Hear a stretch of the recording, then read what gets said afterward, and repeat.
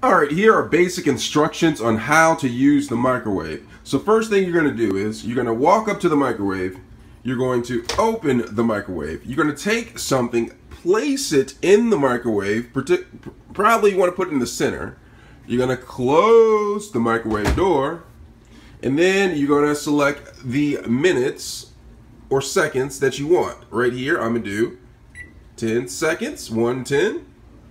And then I am going to press the start button. You see this start button right here? You press the start button and it will make the microwave start to microwave. So I'm gonna place it on there. 10 seconds are gonna go by. Eight, six, five, four, three, two, and one. And the alarm will go off when the time is up and your whatever you put in the microwave is done. You can take it out and eat it. Now, if you need more time, go ahead and put in more time. But that's how you use the microwave. Thanks a lot.